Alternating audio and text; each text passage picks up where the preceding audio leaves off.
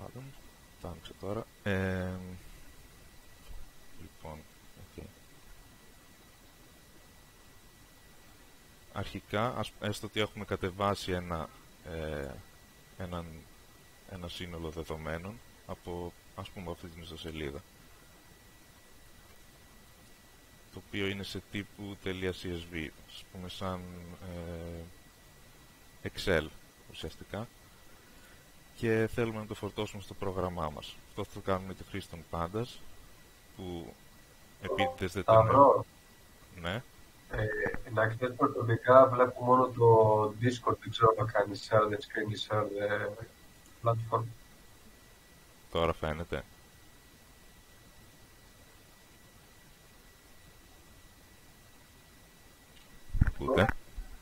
Προσωπικά όχι, δεν ξέρω για τα άλλα παιδιά. Αν θέλει κάποιος να δω, έχω εγώ το πρόβλημα. Ναι, ακόμα το Discord δεν βλέπει. Αλήθεια. Μισό λεπτό.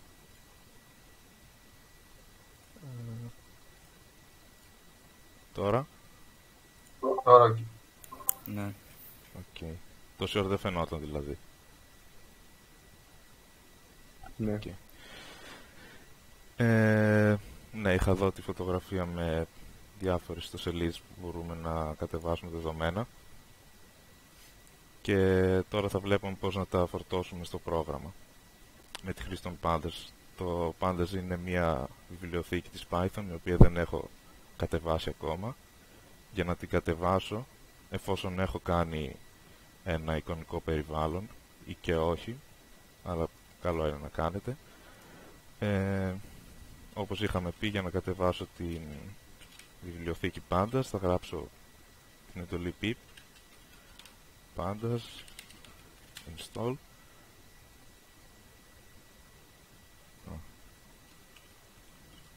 Γιατί έτσι.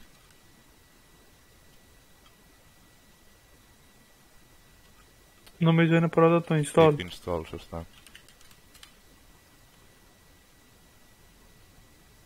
Θα κατεβάσει την βιβλιοθήκη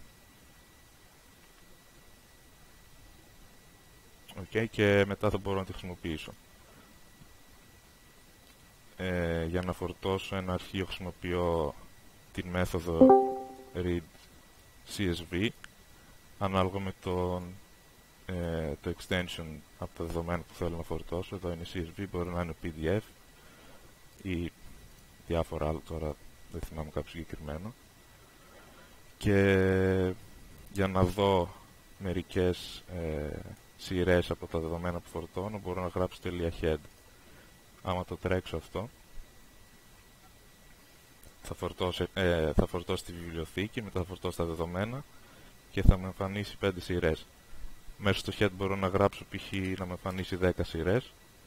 Θα με εμφανίσει 10 σειρές. Το συγκεκριμένο ε, σύνολο δεδομένων έχει, ε, από όσο θυμάμαι, είναι διάφορες εταιρείες ε, σε, ποια, σε ποιο state βρίσκονται στην Αμερική, ε, το profit τους και διάφορα άλλα ε, ναι. Λοιπόν, μετά μπορούμε να δούμε επίσης διάφορες στήλες, τις στήλες ε, των δεδομένων, μπορεί να είναι πολλές, να μην φαίνεται, το γράφοντας τελεία columns θα μας εμφανίσει όλες τις στήλες, οι οποίες φαίνονται και εδώ. Ε, επίσης μπορούμε να δούμε τον τύπο δεδομένων της κάθε στήλης. Εδώ πέρα για παράδειγμα στην στήλη Administration μας λέει ότι ο τύπος των δεδομένων είναι float, δηλαδή αριθμός. Στην στήλη State ε, ο τύπος είναι Object, αντικείμενο.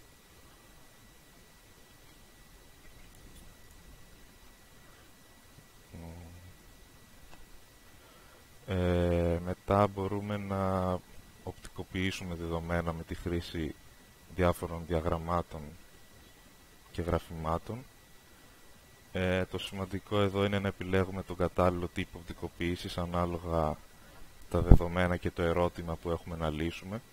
Για παράδειγμα, δεν θα χρησιμοποιούσαμε ένα ραβδόγραμμα για την οπτικοποίηση συνεχών δεδομένων, τα οποία θα μπορούσαμε να, να παραστήσουμε καλύτερα με τη χρήση κάποιου ιστογράμματος ή διαγράμματος πυκνότητας. Για παράδειγμα, αν έχουμε ένα σύνολο δεδομένων που περιέχει τις ηλικίες μιας ομάδας ανθρώπων, δεν θα χρησιμοποιούσαμε ένα ραβδόγραμμα για να απεικονίσουμε την κατανομή των ηλικιών, για παράδειγμα. Ανταυτού θα χρησιμοποιούσαμε ένα ιστόγραμμα ή ένα διάγραμμα πυκνότητας για να παρουσιάσουμε τη συχνότητα των ηλικιών. Ε, θα το δούμε και στην πράξη. Ε, θα κάνουμε import τις βιβλιοθήκες Matplotlib και Seaborn ε, οι οποίες παρέχουν ε, ισχυρά εργαλεία για τη δημιουργία αποκοποιήσεων ε, διαφορετικών τύπων δεδομένων. Μέχρι και εικόνες μπορούμε να κάνουμε visualize. Ε, και την NumPy, τη βιβλιοθήκη NumPy, ε, η οποία μας παρέχει χρησιμοποιείται για διάφορους ε, αριθμητικούς υπολογισμούς. Επίσης παρέχει ένα ε, αντικείμενο πολυδιάστατων πινάκων, καθώς και συναρτήσεις για την αποτελεσματική εκτέλεση μαθηματικών πράξεων στους πίνακες. Ωραία, πρέπει να τρέξω αυτό για να φορτώσω τις βιβλιοθήκες μου. Και έστω ότι παράδειγμα αρχικοποιώ ένα σύνολο από σημεία. Έχουμε τα σημεία Χ και τα σημεία Ψ και θέλουμε να, να δημιουργήσουμε ένα scatterplot ε, πώς μεταφράζεται. Τέλος πάντων θα το δούμε. Ε, με την, με την matplotlib αρκετά απλό γράφουμε plt όπως την έχουμε φορτώσει στη βιβλιοθήκη της pyplot μέσα από την matplotlib. Είναι matplotlib.pyplot plt για, ε, για ευκολία κυρίως αντί να γράφουμε όλο αυτό το μακρινάρι κάθε φορά. plt.scatter θα βάλουμε τα σημεία μας και μετά plt.show για να το δείξουμε. Εδώ θα μας δείξει ε, αυτά που έχουμε αρχικοποιήσει ή μπορούμε επίσης και να τα ενώσουμε για καλύτερα ε,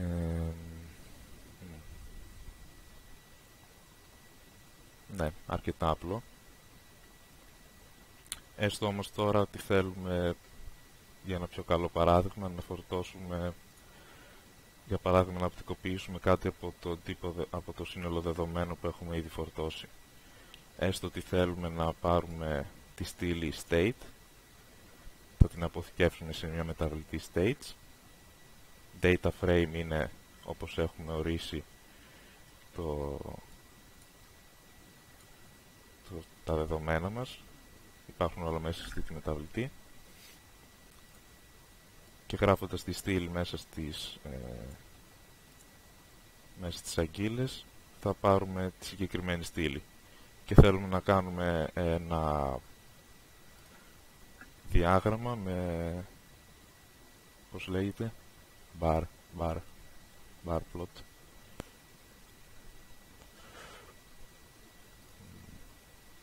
Με στήλες. Αναλόγως, αντί για scatter θα γράψουμε την εντολή bar, θα βάλουμε τις ε, μεταβλητές μας και θα μας εμφανίσει αυτό ε, στο οποίο όπως είπαμε έχουμε τις περιοχές και ε, το κέρδος κέρδος ανά περιοχή. Μπορούμε επίσης να ορίσουμε τίτλους για, τον άξον, για τους άξονες, π.χ. plt.hlabel και ό,τι όνομα θέλουμε θα μας βάλει ε, έναν τίτλο για τον άξονα των χ, αναλόγως για τον άξονα των ψ και τέλος πρέπει πάντα να γράφουμε την εντολή .show άμα θέλουμε να εμφανίσουμε το διάγραμμά μας. Ε, αυτά με την Matplotlib. Μπορούμε να δούμε και ένα παράδειγμα με Seaborn. Η Seaborn είναι ουσιαστικά σαν μια επέκταση της Matplotlib που φτιάχνει πιο, πιο ωραία τα γραφήματα. Καθώς η Matplotlib είναι αρκετά απλή. Ε, ανάλογα εντελώς παρόμοια θα, ε, θα πάρουμε τις στήλες όπως και πριν.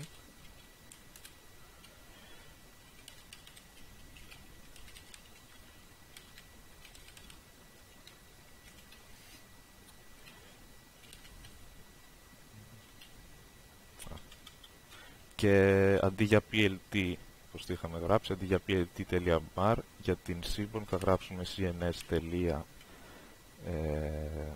cns.barplot και μέσα θα ορίσουμε αρχικά data ison ποια είναι, ποια είναι τα δεδομένα μας. Όπως είπαμε είναι η μεταβλητή data frame. Θα ορίσουμε στον άξονα των χ ε,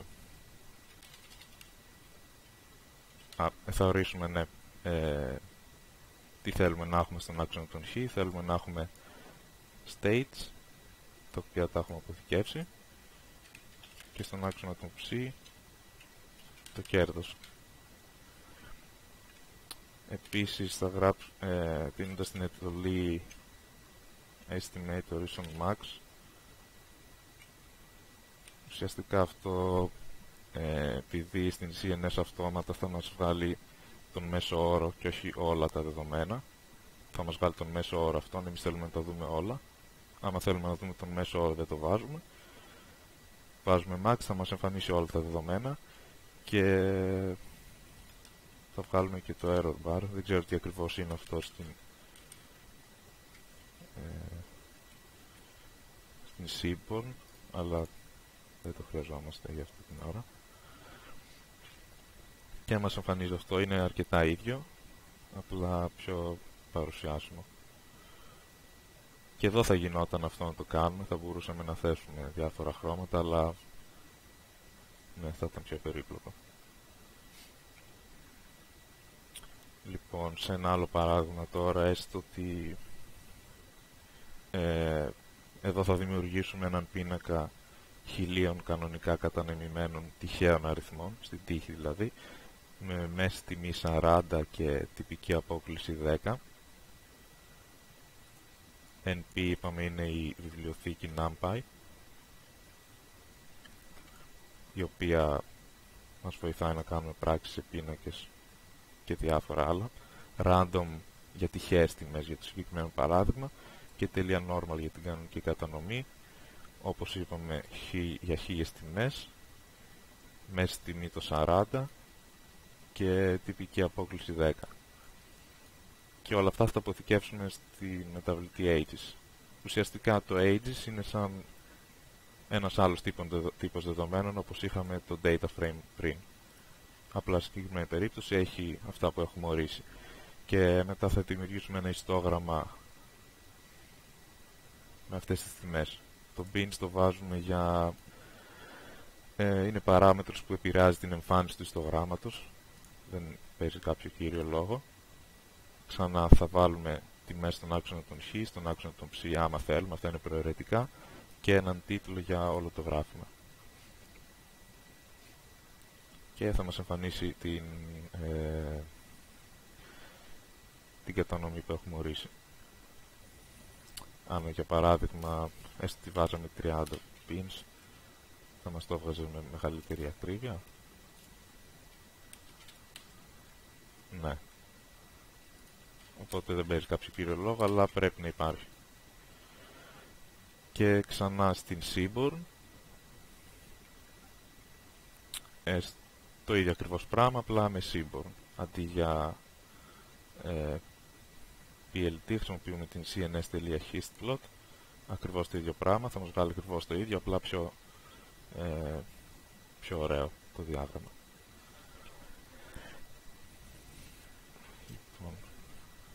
Ε, αυτά με το πώς φορτώνουμε τα δεδομένα. Αρκετά απλό. Αυτό το κύριο είναι... Ε, πού είναι; Εδώ το πώς φορτώνουμε απλά για να τα έχουμε μέσα στο πρόγραμμά μας. Ξανά ανάλογα με το τι τύπος είναι. Εδώ είναι .csv. Θα χρησιμοποιήσουμε τη συνάρτηση της, των πάντας, η οποία είναι η read CSV. Λοιπόν, τώρα. Ε, θα δούμε πώς να καθαρίζουμε και να περοπεξεργαζόμαστε δεδομένα. Βασικά, έχει κάποιος κάποια ερώτηση για το πώς φορτώνουμε και οπτικοποιούμε; Εγώ έχω ερώτηση. Ε, Ε, κόβεσαι λίγο, δεν σ' άκουσα. λέω, εγώ έχω ερώτηση πάνω στο virtual. Ξανακόπηκες, δεν σ' άκουσα. Ε, μόνο εγώ δεν ακούω. Ακούς ένα-δύο. Ακούω, ναι. Ε, λέω, εγώ έχω ερώτηση πάνω στο. Πάλι κόβεσαι. Όντως κόβω. Χάμω τι.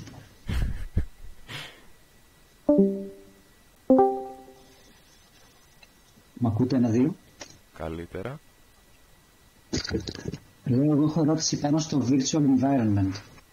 Ναι. Στο πώς το έκανες activate με το terminal, επειδή και εγώ προσπάθησα τώρα να ακολουθήσω τα βήματα. Ε, Ε, είσαι από Windows; ναι. Οκ. Ε,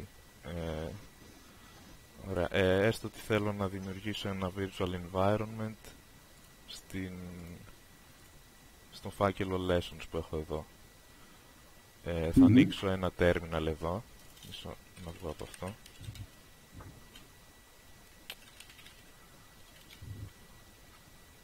Τι πάει λάθος.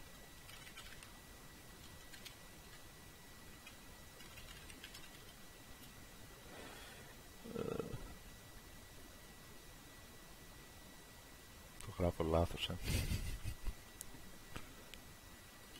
Μήπως είναι deactivate. Όχι, disconnect πρέπει να είναι. Τι μου λέει εδώ; Μήπως δεν είναι στο φάκελο εκείνο; Όντως, σωστά. Θα πίσω και τώρα...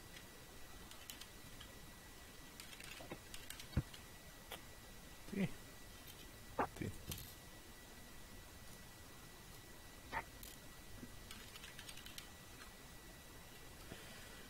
Εμ, πολύ περίεργο αυτό. Μισό λεπτό.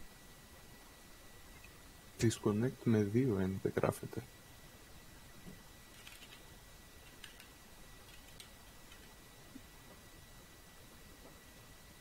Δύο N μου είπες. Ναι, ναι, νόμιζα το connect με Μήπως θες δύο. να γράψεις deactivate. Ω, δίκιο έχεις, ναι. Δεν πάω καλά. Ναι, deactivate λοιπόν, όχι disconnect. Βλακεία μου. Και ωραία, έστω ότι θέλω να, ε, να δημιουργήσω ένα εικονικό περιβάλλον εδώ. Θα γράψω Python. Βασικά, άμα έχεις κατεβάσει 3,9 και πάνω version της Python, λογικά θέλει και ένα 3 εδώ. Μμμ. Σε μένα δεν χρειάζεται. Παύλα M, VNV και το όνομα του περιβάλλοντος που θέλω να φτιάξω. π.χ. Virtual Environment. Τώρα είσαι ήδη μέσα σε ένα, V- σε ένα virtual environment, έτσι. Έχεις δίκιο. δεν πρέπει να είμαι ήδη. Υποτίθεται ότι δεν έχω. V Virtual Environment και θα μου δημιουργήσει αυτόματα το εικονικό περιβάλλον εδώ. Μετά για να τον ενεργοποιήσω θα πάω όπως το έχω ονομάσει. Ε, σωστά πρέπει να το έχω. Slash scripts. Slash activate. Και εφόσον το βγάλει εδώ πάει να πει ότι είμαι μέσα, έχω ενεργοποιήσει το περιβάλλον σου βγάζει κάποιο error Ε, ναι, το κάνω, το ακολουθώ το, το βήμα ουσιαστικά, το κάνω activate. Αλλά δεν μου βγάζει ότι λέει PS στα αριστερά από το, το path που είναι με το terminal. Δεν μου βγάζει το virtual environment. Γι' αυτό ρωτάω. Ωραία. Οκ. Ε, θες να το δούμε μήπως μετά το μάθημα; Ναι, ναι, οκ. Δεν είναι τόσο σημαντικό. Γι' αυτό.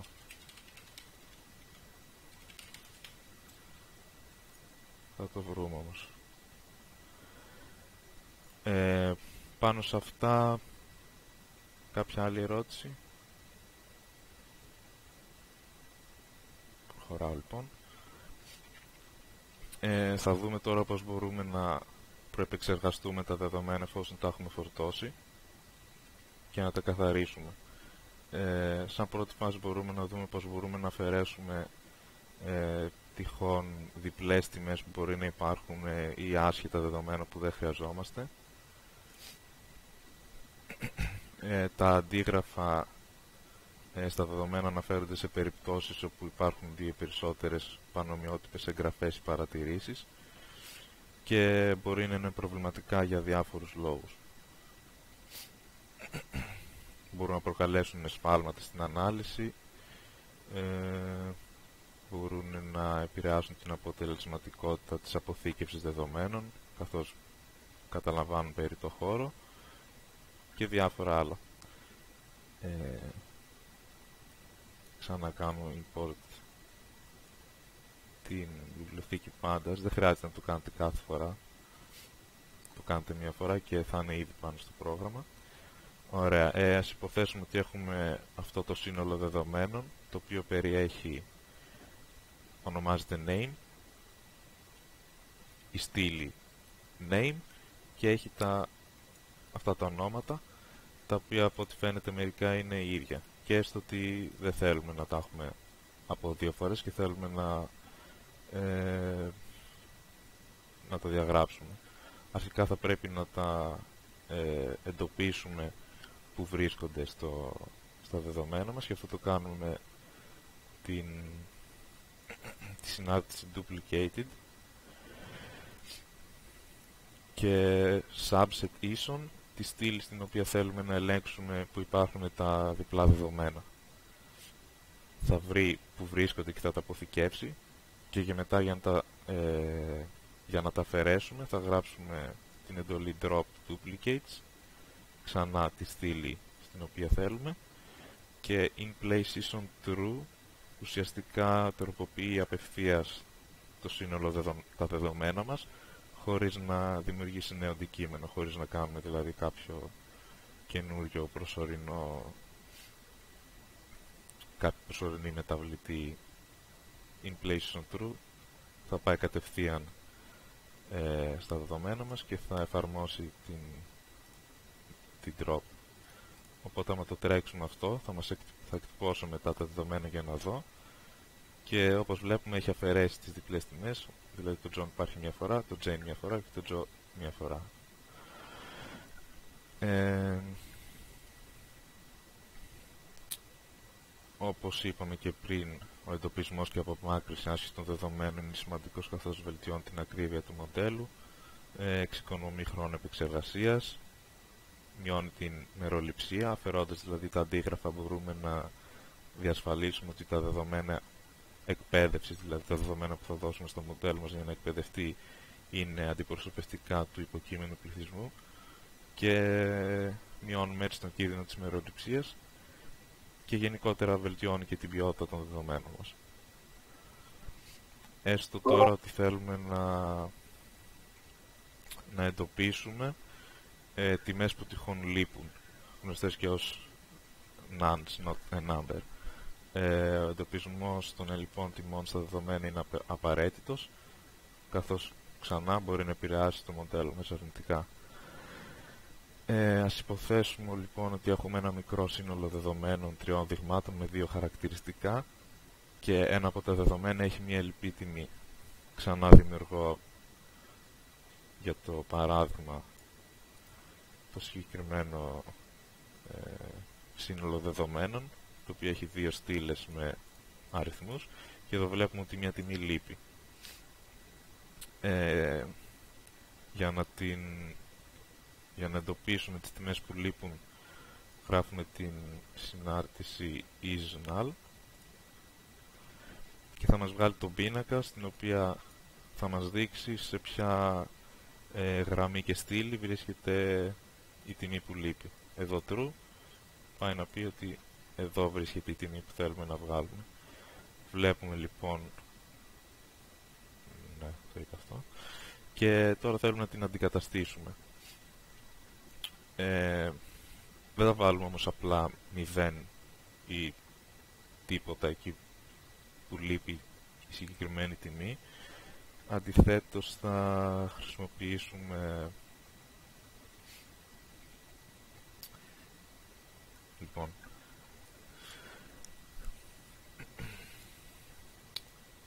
θα ονομάσουμε μια μεταβλητή στην οποία θα θέσουμε ε, την στήλη στην οποία λείπει η τιμή μας. Τελεία min θα εξηγήσω τι κάνει το συγκεκριμένο. Ε, ξανά in place season true στην επόμενη γραμμή ε, για να μην τροποποιήσουμε για να γίνει τροποποίηση απευθείας στα δεδομένα στα δεδομένα μας θα περάσουμε την μεταβλητή min που έχουμε ορίσει στη συνάρτηση fill NA για να γεμίσουμε τη συγκεκριμένη τιμή και όταν το τρέξουμε θα δούμε ότι έχει δώσει μια τιμή. Ε, λοιπόν, σε αυτό το παράδειγμα με τις ελπές τιμές, η μέση τιμή, η min που έχουμε ορίσει εδώ, ουσιαστικά αναφέρεται στη μέση τιμή των μη λοιπόν δεδομένων στον πίνακα feature 1, στην στήλη, σε αυτή τη στήλη δηλαδή. Στην επόμενη γραμμή, σε αυτήν εδώ δηλαδή, ε, εφόσον έχουμε υπολογίσει την τιμή min, θα αντικαταστήσουμε όλες, όλες τις τιμές που δεν υπάρχουν ε, με τη μέση τιμή. Ουσιαστικά πολύ απλά θα πάρουμε τη μέση τιμή όλης αυτής της στήλης, δηλαδή τη μέση τιμή του 2,3 και του 1,8 η οποία θα μας δώσει 2,05.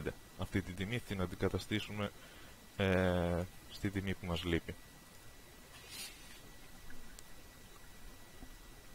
Ε, υπάρχει κάποια ερώτηση σε αυτό, γιατί ίσως το είπα λίγο περίεργα. Εγώ έχω μια ερώτηση για το προηγούμενο. Προηγούμενο, εδώ. Για τη στιγμή που βγάζουμε τα διπλότυπα. Μπράβο. Ωραία. Ναι.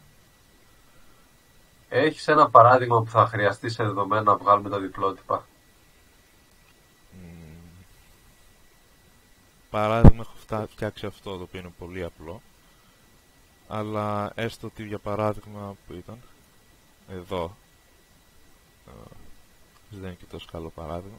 Έστω ότι θέλαμε για κάποιο λόγο που δεν μπορώ να φανταστώ να είχαμε μόνο μία φορά ξέρω εγώ την κάθε πολιτεία. Και θέλαμε να διαγράψουμε όλες τις υπόλοιπες. Τώρα κάποιο συγκεκριμένο παράδειγμα που να είναι χρήσιμο αυτό δεν μου έρχεται αυτή τη στιγμή αλλά σίγουρα θα είναι χρήσιμο σε κάποια στιγμή Okay. αυτός είναι απλά ο τρόπος που το κάνουμε τώρα το που θα χρειαστεί είναι ανάλογα την περίπτωση και το τι θέλουμε Εγώ θέλω να ρωτήσω κάτι σχετικό. Ε, σε αυτό το παράδειγμα, ας πούμε, με τις ε, όλες της Αμερικής. ναι. Άμα θέλουμε να αφαιρέσουμε τα διπλότυπα, ποιο, ποιος θα μείνει; Γιατί προφανώς θα μείνει και όλη η σειρά του, έτσι. Ε, ναι, η σειρά θα μείνει. Α, ποιο θα Άρα- μείνει από όλα αυτά. Ναι.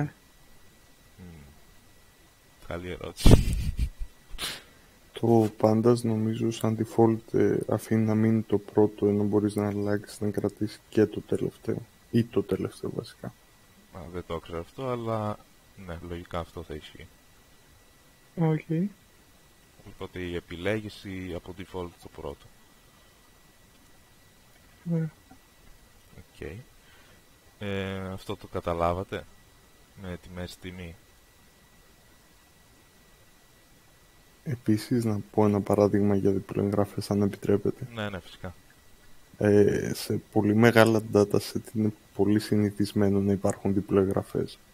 Ας πούμε ένα dataset που είχα δει για παίχτες του NBA επειδή περνιούνται συνήθως είτε με το χέρι είτε με κάποιον άλλο τρόπο, είναι πολύ συνηθισμένος να γράφονται δύο φορές ο ίδιος παίχτης για έναν αγώνα ή το οτιδήποτε. Οπότε κάπου εκεί χρησιμεύει, θεωρώ.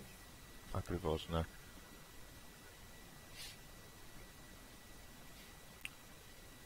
Ε, προχωρά λοιπόν αν εκτός αν έχετε κάποια άλλη ερώτηση. Ε, λοιπόν, ε, κλιμάκωση και κανονικοποίηση των χαρακτηριστικών ε, ουσιαστικά στην προεπεξεργασία των δεδομένων η κλιμάκωση και η κανονικοποίηση αναφέρονται σε τεχνικές που χρησιμοποιούνται για την ε, τυποποίηση του εύρους και της κατανομής των χαρακτηριστικών ή των μεταβλητών σε ένα σύνολο δεδομένων.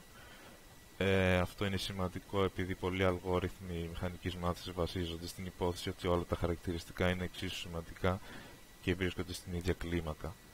Ε, για να δω κάποιο παράδειγμα πρώτα. Λοιπόν, ε, έστω ότι σε αυτό το παράδειγμα κλιμάκωσης έχουμε ένα σύνολο δεδομένων με δύο χαρακτηριστικά, την ηλικία και το income και θέλουμε να κανονικοποιήσουμε αυτά τα, τα features για να έχουν ε, πώς το λέμε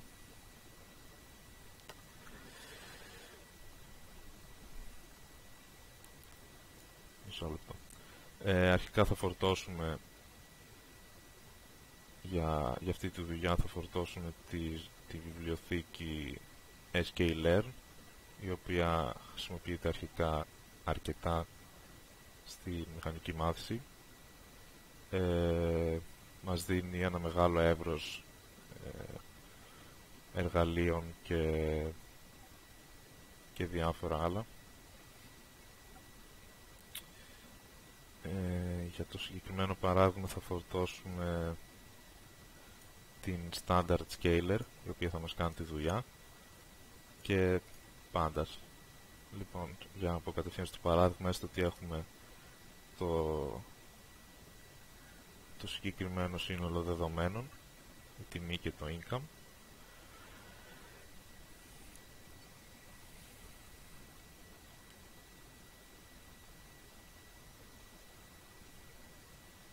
Ωραία, ακούγαμε.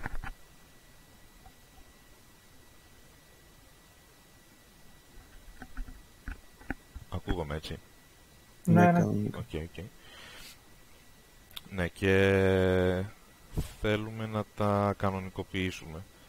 Τι σημαίνει αυτό, ουσιαστικά ε, θέλουμε να τα κανονικοποιήσουμε σε ένα συγκεκριμένο εύρος τιμών, επειδή εδώ για παράδειγμα ε, οι τιμές κυμαίνονται από 5.000 έως 9.000. Θέλουμε αυτό το εύρος να είναι ε, κανονικοποιημένο. Δηλαδή να πηγαίνει στη συγκεκριμένη περίπτωση να πηγαίνει από μείον 1,41 έως 1,41. Νομίζω αυτό είναι καλύτερο παράδειγμα. Μισό. Ακριβώς η ίδια δουλειά είναι εδώ. Έχουμε ένα ε, σύνολο δεδομένων ύψους και βάρους και οι τιμές κυμαίνονται από 50 έως 90, από 150 έως 190. Και θέλουμε να το κανονικοποιήσουμε να έχει εύρος τιμών από 0 έως 1. Ε, αυτό το κάνουμε έτσι ώστε τα δεδομένα, τα δεδομένα μας να έχουμε, να έχουμε παρόμοια να έχουν παρόμοια κλίμακα και εύρος. Αυτό είναι σημαντικό στη, στο βήμα προπεξεργασίας καθώς μπορεί να βοηθήσει να διασφαλιστεί ότι κάθε χαρακτηριστικό συμβάλλει εξίσου στην πρόβλεψη και να βελτιώσει την απόδοση του μοντέλου. Δηλαδή να έχουν ίση ε, επειδή το μοντέλο μας δεν ξέρει. Αν και εδώ δεν έχει και πολύ σημασία επειδή είναι ανά 10 οπότε δεν έχει πολύ σημασία, αλλά μπορεί να ήταν 50, 80, 120, μετά 30 κλπ. Δηλαδή θα ήταν ίσα η απόσταση μεταξύ τους. Κανονικοποιώντας τας, θα έχουν την ίδια απόσταση. 0, 0,25, 0,5, ανά 0,25 δηλαδή. Αυτό βοηθάει τον αλγόριθμο ε, της μηχανικής μάθησης αργότερα για το λόγο που είπαμε. Ε, τώρα για αυτό το παράδειγμα χρησιμοποιούμε την μέθοδο min-max scaler η οποία θα μας δώσει αυτό το εύρος τιμών Στην προηγούμενη, στο προηγούμενο παράδειγμα χρησιμοποιήσαμε την Standard Scaler η οποία θα μας δώσει αυτό το εύρος τιμών. Τώρα πάλι ανάλογα το τι εύρος τιμών θέλουμε να έχουμε θα καλέσουμε και την ανάλογη ε, μέθοδο. Από πάλι εδώ. Ε, εφόσον έχουμε ορίσει μια μεταβλητή η οποία εμπεριέχει αυτή τη μέθοδο θα γράψουμε τελεία fit το σύνολο των δεδομένων μας. Αυτό εδώ δηλαδή όλο. Θα μπει δηλαδή μέσα στην μέθοδο αυτή. Και μετά ε, θα δημιουργήσουμε μια αυτό απλά για να το κάνω visualize εδώ για να το δούμε είναι οπότε δεν έχει πολύ σημασία. Θα φορτώσω την transform με την μέθοδο transform το σύνολο δεδομένων μας πάνω στην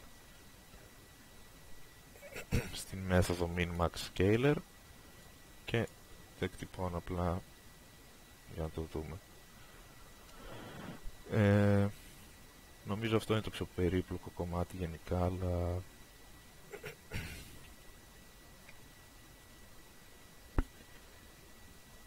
Μια ερώτηση να κάνω. ναι, ναι. Το, στο πρώτο που το κάνουμε standard scale ε, είναι σε όλα τα ό,τι δεδομένα και να δώσουμε θα είναι πώς είχαμε δώσει από μείον 1,41 μέχρι 1,41 είναι για τα συγκεκριμένα δεδομένα. Ε, εννοείς για τα συγκεκριμένα αυτά εδώ. Θα έχει, άμα δώσουμε άλλα δεδομένα, θα έχει άλλα όρια. Όχι, όχι, πάλι τα ίδια θα δώσει. Γιατί γνωρίζει άμα για ποιο λόγο επιλέχθηκαν τα συγκεκριμένα, γιατί μου φαίνεται πολύ αλόκοντο να έχουμε ένα τέτοιο περίεργο όριο και να βολεύει. Ναι, τώρα το συγκεκριμένο όριο και εγώ να σου πω την αλήθεια δεν μπορώ να... δεν ξέρω που μπορεί να χρησιμεύει, αλλά σίγουρα θα χρησιμεύει κάπου. Εντάξει, άμα ήξερες. Okay. Είναι ανάλογα. Π.χ. κάποιος μπορεί να χρειάζεται αυτά τα όρια για κάποια ε, δουλειά που κάνει, κάποιος άλλος μπορεί να χρειάζεται απλά από 0 έως 1. Τώρα αυτό εξαρτάται, αλλά το 0-1 νομίζω είναι το πιο γνωστό και το πιο normal να χρησιμοποιήσει κανείς. Μάλλον θα είναι για συγκεκριμένες περιπτώσεις το, αυτό το όριο. Okay, thank you. Τίποτα. Ε, κάποια άλλη ερώτηση;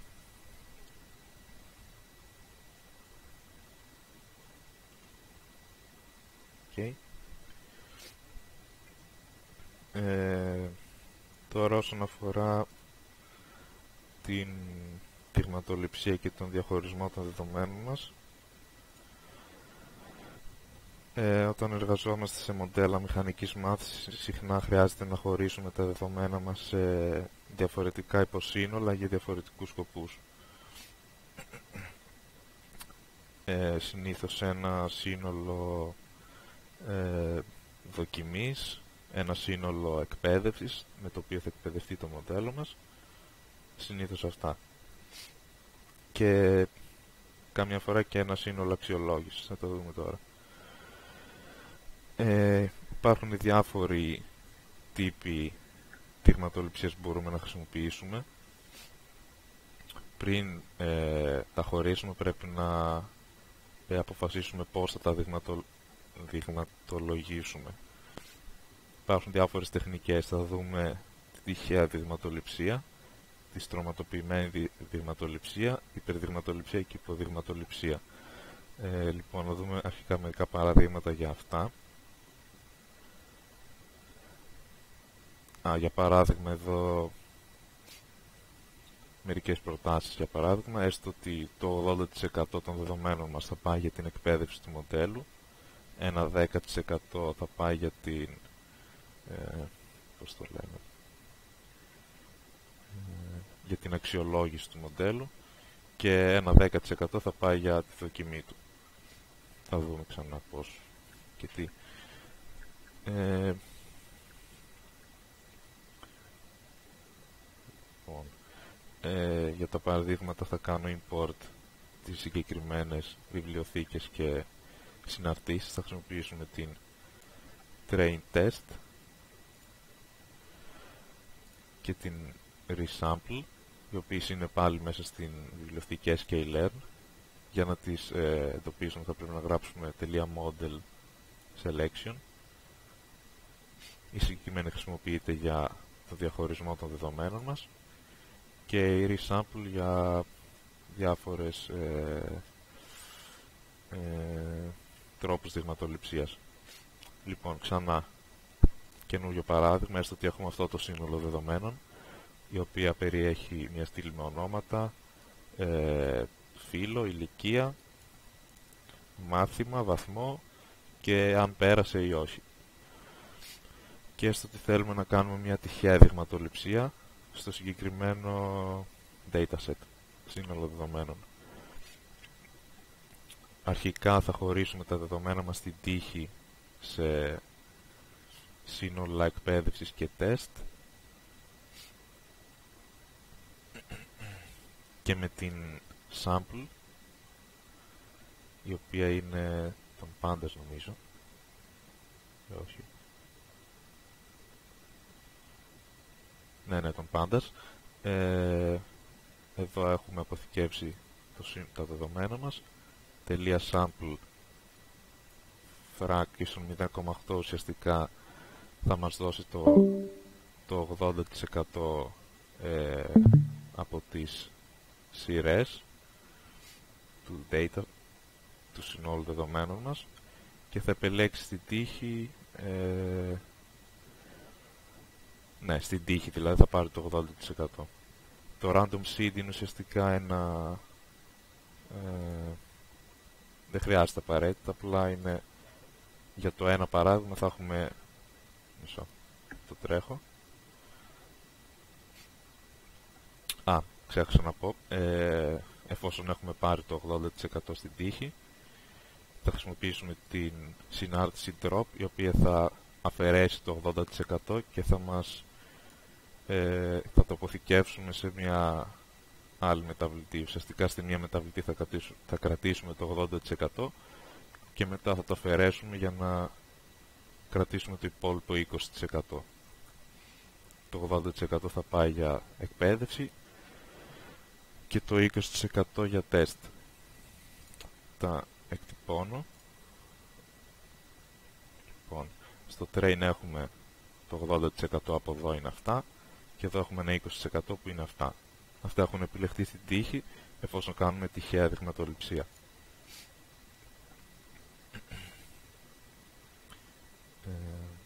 Τι ήθελα άλλο να πω. Ναι, αυτό ουσιαστικά για την ε, τυχαία. Έστω τώρα θέλουμε να κάνουμε στρωματοποιημένη δια, ε, δειγματοληψία η οποία ουσιαστικά ε, σε αντίθεση με την τυχαία μπορούμε να ορίσουμε μια συγκεκριμένη στήλη στην οποία θέλουμε να έχουμε πιο... πώς να το πω... Μισό λεπτό. Η ίδια διαδικασία εδώ θα χρησιμοποιήσουμε την train test split συνάρτηση.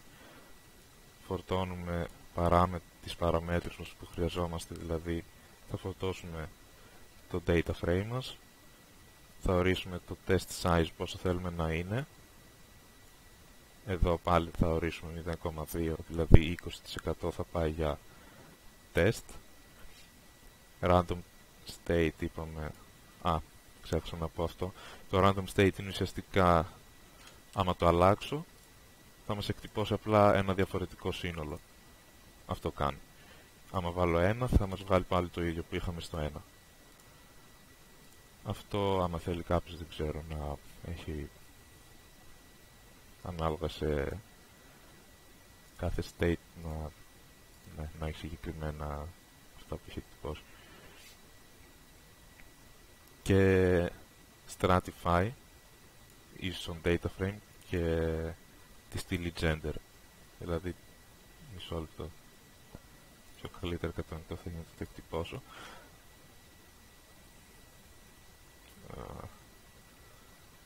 Μισό τώρα πρέπει να έχει περιδευτεί όλο. το ξαναφορτώνω.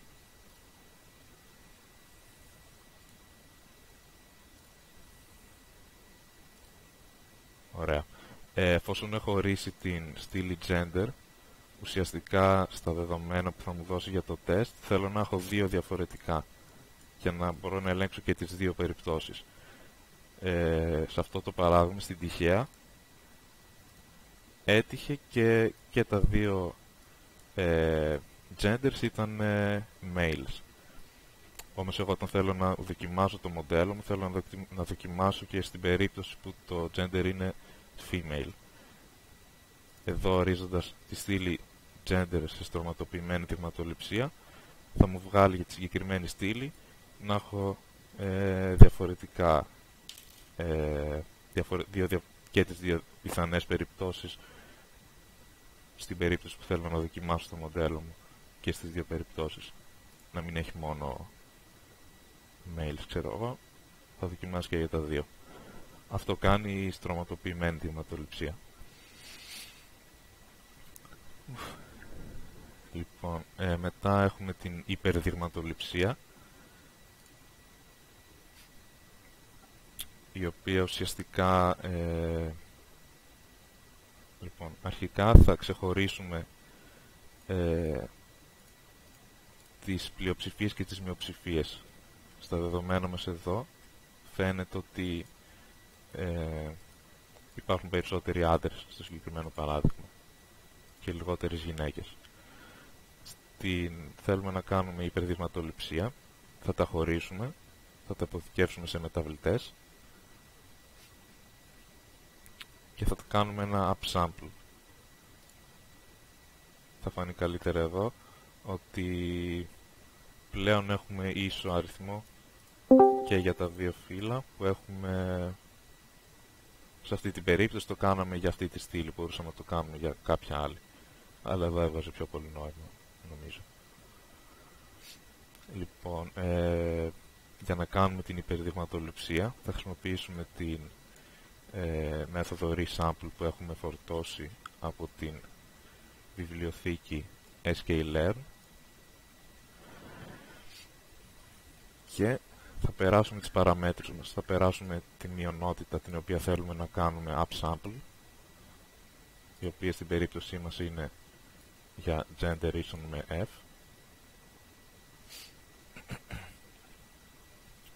ε, replace ε, το replace θα ε, τι λέω εδώ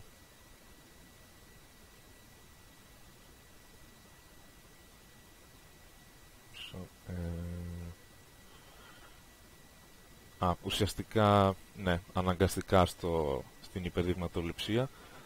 Μερικά θα πρέπει να τα πάρουμε δύο φορές. Μερικά που ήδη υπάρχουν, εφόσον θέλουμε να τα κάνουμε upsample, θα τα πάρουμε δύο φορές. N samples ε, θα το θέσουμε στην, στο μέγεθος του, της πλειοψηφίας για να τα έχουμε ουσιαστικά ίσα. Όσα είναι η πλειοψηφία, τόσο θέλουμε να κάνουμε και την μειοψηφία. Και μετά απλά με την εντολή concat ουσιαστικά θα τα, ε, θα τα συνενώσουμε ξανά και θα έχουμε το τελικό μας, ε, το τελικό μας σύνολο. Θα ενώσουμε δηλαδή την πλειοψηφία και τη μειοψηφία η οποία πλέον έχει γίνει upsampled, δηλαδή έχει το ίδιο μέγεθος. Θα τα συνενώσουμε με την concat και έχουμε το τελικό μας ε, σύνολο δεδομένων, το οποίο είναι αυτό. Το οποίο περιέχει, είπαμε, ε, έχει κάνει duplicate μερικά ε, data της μειοψηφίας. Μετά στην υποδειγματοληψία ακριβώς το ίδιο πράγμα. Απλώς το κάνουμε για το... έστω ότι θέλουμε να κάνουμε gender ίσον M να είναι ίσο με το F female. Ε, ήταν 3 για F, οπότε θα, γίνει, θα κάνουμε 3 και για τα mails. Ξανά resample, περνάμε την πλειοψηφία που θέλουμε να μειώσουμε. Replaces on false, δηλαδή να μην πάρει διπλά ονόματα εφόσον έχουμε αρκετά. Θα πάρει μερικά από αυτά, όχι να μην πάρει τρεις που τους λένε Charlie, ξέρω Οπότε με το false θα κοιτάξει να πάρει διαφορετικά. Τώρα πάλι εδώ, άμα θέλουμε να πάρουμε συγκεκριμένα, δεν είμαι σίγουρος, άμα θέλουμε συγκεκριμένα ονόματα. Αλλά δεν νομίζω να παίζει και τόσο ρόλο να θέλουμε για κάποιο λόγο συγκεκριμένα. Θα τα θέσουμε στο len, στο μήκος που είναι η μειοψηφία μας. Ξανά τα συνενώνουμε και έχουμε αυτό το οποίο έχει τρεις άντρες, τρεις γυναίκες. Ε, κάποια απορία σε αυτό. Σε αυτά τα τέσσερα, ναι, τέσσερις μεθόδους.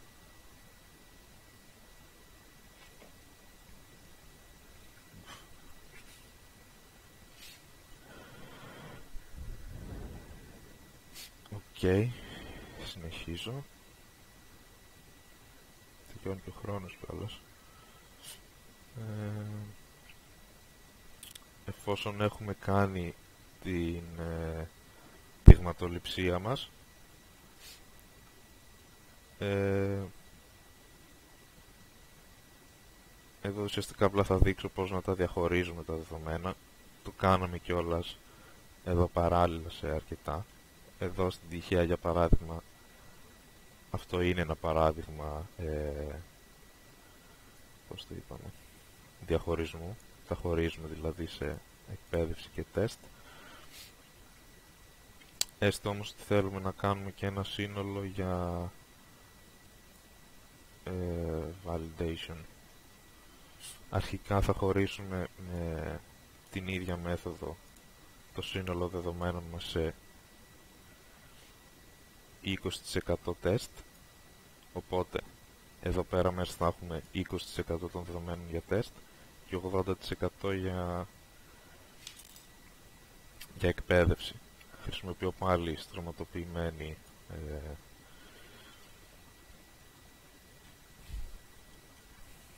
στρωματοποιημένη δειγματοληψία καθώς κάτι την άποψή μου είναι λίγο καλύτερη εφόσον μπορούμε να ορίσουμε τις περιπτώσεις που θα τρέξουμε μετά για να δοκιμάσουμε τον, το μοντέλο μας. Ε, και μετά θα ξανακάνουμε ένα δεύτερο split πλέον στα δεδομένα εκπαίδευσης και για validation. Θα μας δώσει απλά ε, θέλουμε να έχουμε 80% για εκπαίδευση, 10% για validate και 10% για test. Ε, ναι, ουσιαστικά απλά το τρέχω δύο φορές αυτό.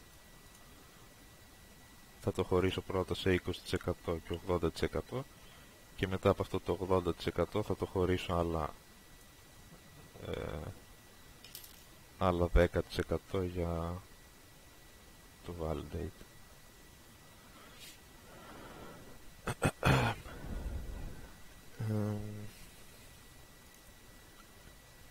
αυτό ήταν από εδώ. Ε, υπάρχει κάποια ερώτηση πάνω σε γενικά σε αυτό με τον διαχωρισμό και τη δειγματοληψία; Εγώ έχω μπερδευτεί λίγο με το validation βασικά. Ε, ε, είναι κομμάτι του training, αλλά χρησιμοποιείται και μετά στο test για να δούμε ότι είναι... Ε, το, valid... το validate ουσιαστικά μπορούμε να το τρέξουμε είτε κατά τη διάρκεια που εκπαιδεύεται το μοντέλο μας. Ουσιαστικά μας λέει άμα είναι έτοιμο το μοντέλο μας για να δει καινούρια δεδομένα που δεν έχει ξαναδεί.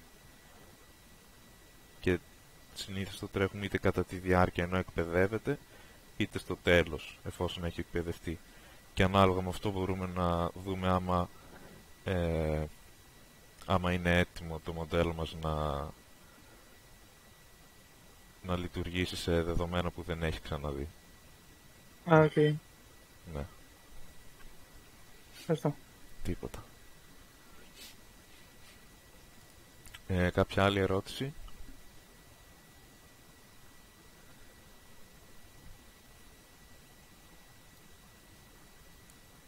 Οκ. Ε, αυτά γενικά για αυτό το μάθημα. Αυτά ήθελα να δείξω. Τώρα, σαν εργασία πάνω σε όλα αυτά, έχω ετοιμάσει αυτό εδώ, στο οποίο έχω μερικά βήματα. Έστω ότι έχουμε αυτό το σύνολο δεδομένων που έχω ήδη κατεβάσει και πάνω σε αυτό θα εφαρμόσουμε όσα όσα κάναμε, δηλαδή θα φορτώσουμε το σύνολο δεδομένων αυτό το συγκεκριμένο από αυτό το φάκελο ε, σε ένα πλαίσιο δεδομένο πάντας, όπως είδαμε ακριβώς με αυτόν εδώ τον τρόπο. Εδώ γράφουμε ουσιαστικά το path, ανάλογα το που είναι τα, το dataset που θέλουμε να φορτώσουμε. Θα το φορτώσουμε δηλαδή ε, και να το εξερευνήσουμε για να κατανοήσουμε τις δομές και τα χαρακτηριστικά που θα τρέξουμε δηλαδή την τελεία head, columns, data types για να δείτε άμα θέλει, όποιος θέλει πώς είναι το συγκεκριμένο dataset μετά να οπτικοποιήσετε τις 50 πρώτες γραμμές των δεδομένων χρησιμοποιώντας ένα ραβδόγραμμα ε, με τις καταστάσεις και τη διάρκεια σε δευτερότητα. Καταστάσεις και διάρκεια θα δείτε τι εννοώ άμα φορτώσετε το σύνολο. Ουσιαστικά αυτό που κάναμε εδώ σε ένα ραβδόγραμμα Πού το Όχι. Ναι, σε ένα ραβδόγραμμα ακριβώς ανάλογα όταν λέω ε,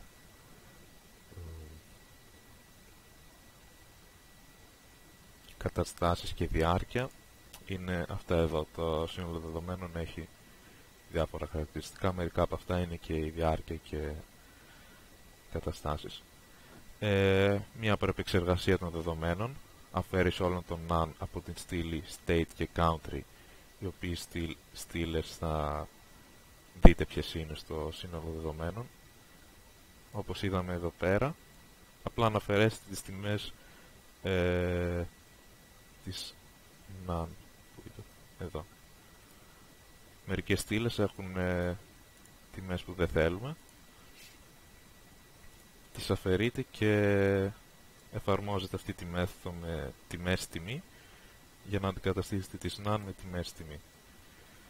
Ε, και μετά μία διευματοληψία των δεδομένων με στρωματοποιημένη διευματοληψία για τη στήλη state. Δηλαδή αυτό που κάναμε εδώ απλά για τη στήλη state του συγκεκριμένου ε, dataset. Και μετά να τα χωρίσετε σε, όπως κάναμε εδώ, σε 80% να πάει για εκπαίδευση, 10% για επικύρωση, validation και 10% για δοκιμή. Ουσιαστικά νομίζω είναι και... Ναι, ακριβώς το ίδιο όπως εδώ είναι. Ε, αυτό απλά για όποιον θέλει να ασχοληθεί να το συζητήσουμε κιόλας στο chat. Έχω ήδη τις απαντήσεις έχω και το βλέπουμε αυτό.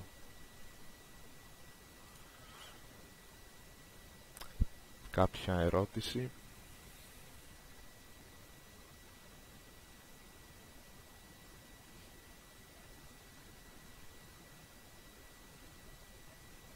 Οκ. Ε, θα στείλω κιόλας τις διαφάνειες του μαθήματος να κλείσουμε όποιος θέλει να το δει και ναι δεν ξέρω πώς σας φαίνεται μέχρι στιγμής Η επόμενη συνάντηση πάλι με Πολ θα γίνει; Ε, ναι λογικά ναι okay. και από ό,τι κατάλαβα γενικά ίσως βολεύει πέμπτες Βασικά δεν ξέρω για τους πρωτοετής που είπατε πόσο βολεύει.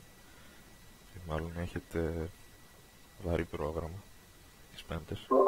Ίσως θα υπάρξει πρόβλημα γιατί λόγω του καταλήψεων υπάρχουν αναπληρώσεις γι' αυτό. Ναι, ίσως και αυτό. Οπότε με Paul καλύτερα για να βλέπουμε τι ανακοινώσεις βγάζουν, πώς θα είναι το προγράμματά μας και το βλέπουμε.